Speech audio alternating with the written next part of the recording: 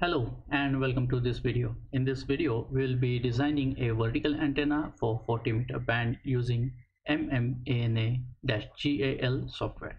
So let's get started.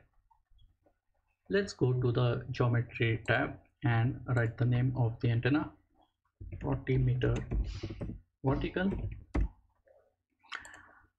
Let us enter 7.1 megahertz as the center frequency let us go to the wire edit section and draw the antenna.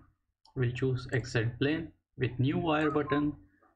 We draw an antenna uh, which is a vertical antenna wire number one length 10 meters why 10 meters because quarter wavelength of 40 meters is 10 meters so we have drawn uh, the antenna and let us press ok in the view tab you can see a vertical radiating element wire number one length 10 meters.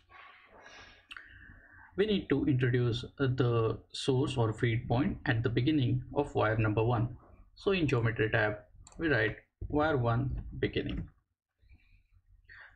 If you go to the view tab again you can see that the source has been introduced.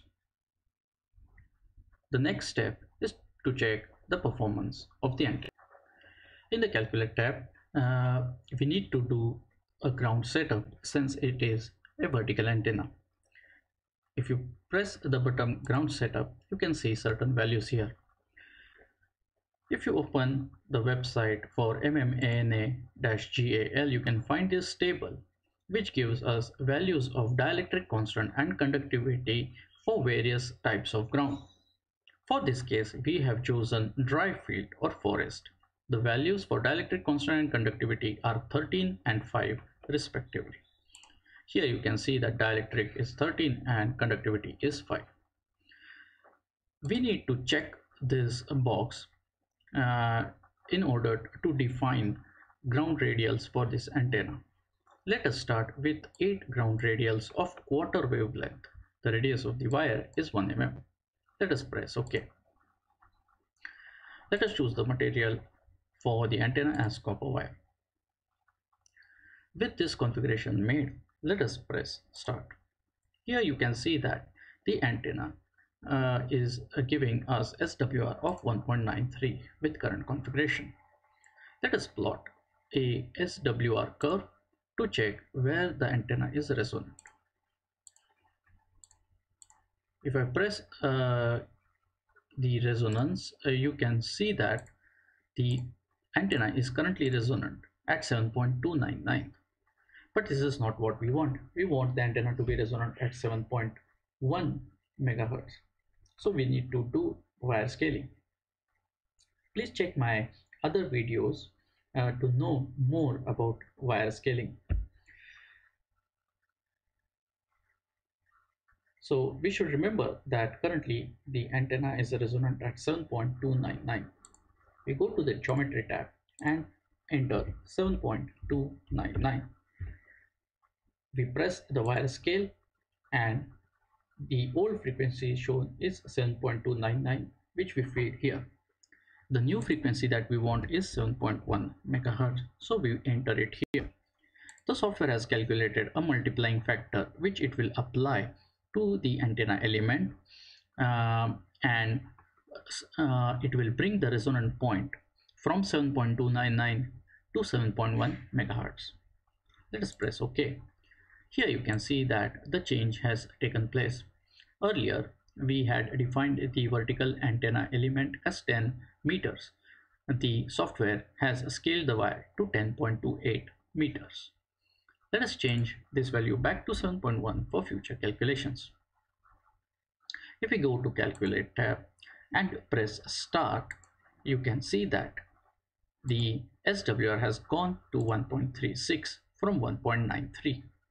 Let us check, check the SWR curve one more time. Here you can see that now the antenna is perfectly resonant at 7.1 at the extreme ends of the band that is 7 megahertz uh, it is 1.6 uh, SWR and at 7.2 it is lower than 1.5 SWR. This shows uh, that the antenna is uh, giving us a very good performance. Let us check the exact values. At 7 megahertz, it is giving 1.56. At 7.2 megahertz, it is giving 1.45. And at 7.1, we saw earlier, it is giving 1.36.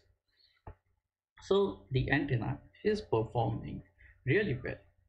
Uh, for some of the common frequencies uh, that uh, are used here in India for different nets, you can see the values of SWR. For 7.05 is 1.42, for 7.06 is 1.4, for 7.08 is 1.37. So the values that this antenna is giving are quite good.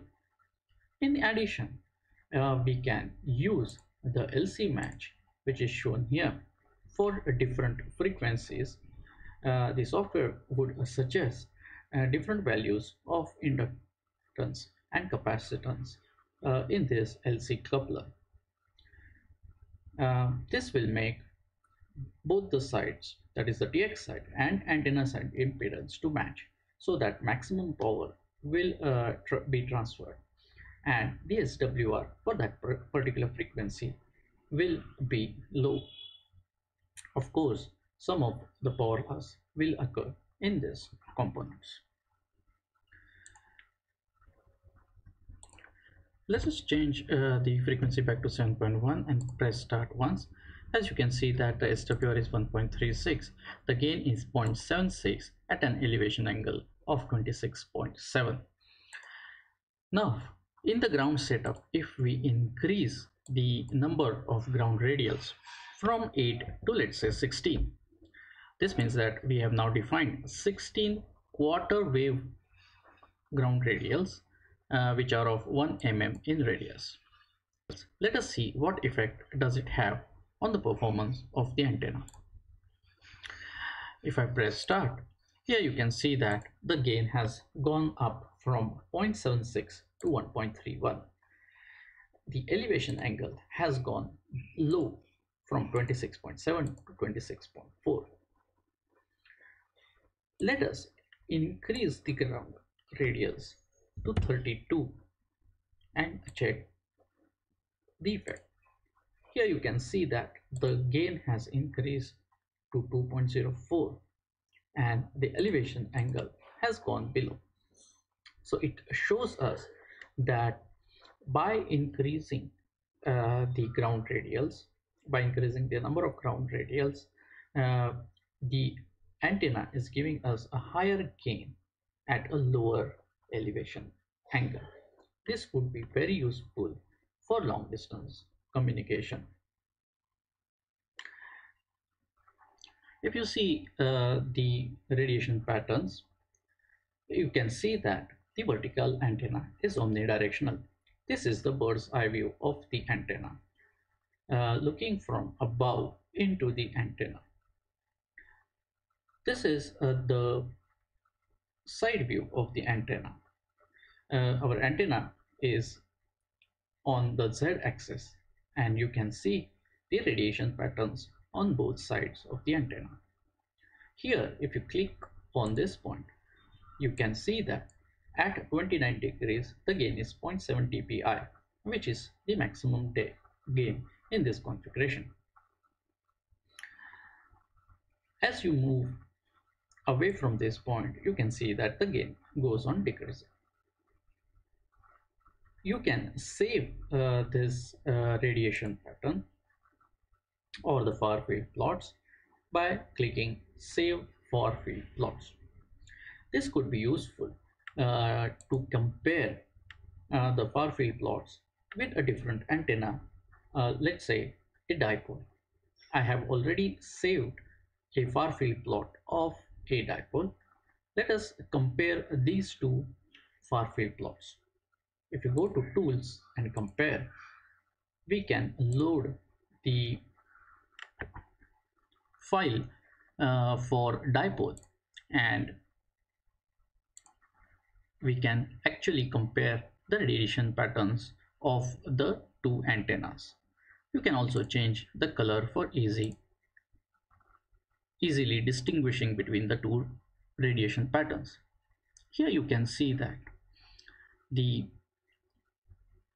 blue lines are of uh, the vertical antenna whereas the black line is of horizontal dipole. From the left hand side figure it is clear that the vertical antenna is omnidirectional. As compared to the dipole you can see that the dipole is oriented along the x-axis and the radiation lobes are more towards the perpendicular direction to the direction of the antenna. So this makes the dipole a bit directional as compared to the omnidirectional vertical. On the right hand side, it can be seen that uh, most of the radiation of uh, the dipole antenna, which is currently along the x-axis, is upwards and the radiation from 41 degrees to 90 degrees uh, is having higher gain values. As compared to that, if you see the vertical antenna radiation pattern, you can see that there is hardly any radiation exactly vertically up the radiation is mostly at 30 degrees uh, elevation angle. So this way we can compare the radiation patterns of two antennas. With this we complete the design and checking the performance of vertical antenna. I hope uh, you have enjoyed this video. Uh, if you have not subscribed to my channel, uh, please do so please hit the notification bell so that you will be informed when i upload a new video and please press like button if you have liked this video. Thank you for watching